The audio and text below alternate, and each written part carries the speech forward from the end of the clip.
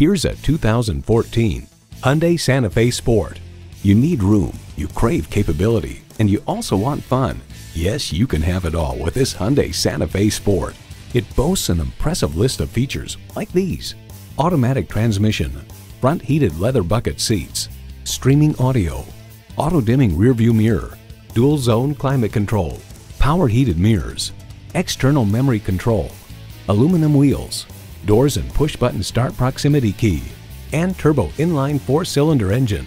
Cars.com thinks the Santa Fe's cabin is quiet and its ride smooth. Even during a quick jaunt on a dirt road, it demonstrated a high level of composure and bump absorption. It bounded over larger potholes but stayed buttoned down over smaller imperfections.